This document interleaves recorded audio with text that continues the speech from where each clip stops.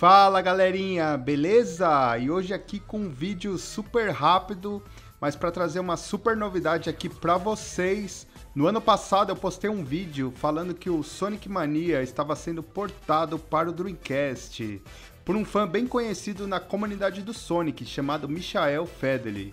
Bom pessoal, finalmente depois de um ano nós temos um update sobre esse port e eu estou trazendo aqui para vocês em primeira mão. Bom, a gameplay que vocês estão assistindo agora está rodando diretamente no Dreamcast, pessoal. E dá pra ver que o jogo está rodando super bem, né? O desenvolvedor gravou esse vídeo utilizando o ODE Terra Onion, mas ele falou que o jogo também vai funcionar normalmente pelo drive de CD.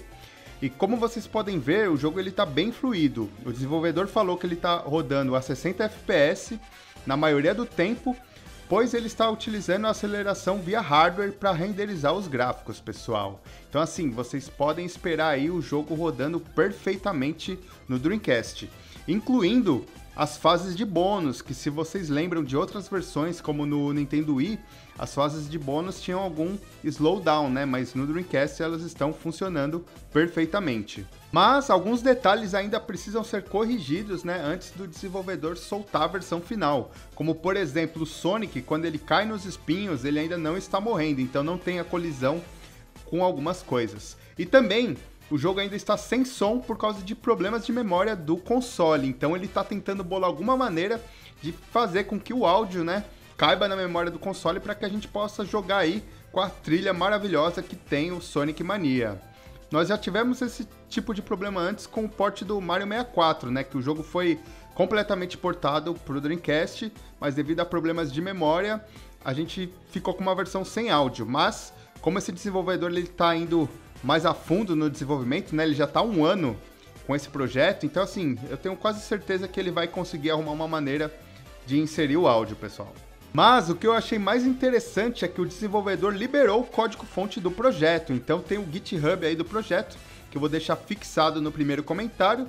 E quem tiver curioso e quiser se arriscar, você pode ir lá baixar o código-fonte, compilar o que já tem, né, e gerar uma versão aí para você jogar no seu Dreamcast. Mas rodar sem o áudio, né?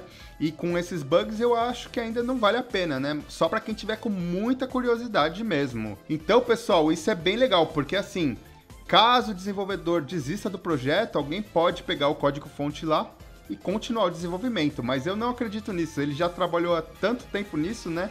Que eu tenho certeza que ele vai até o fim. Então é isso, pessoal. Esse foi um vídeo rápido só para trazer essa novidade aqui para vocês, né?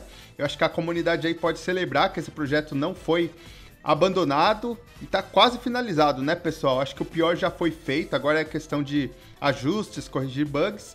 E eu tenho certeza que em breve nós vamos ter aí muitas novidades.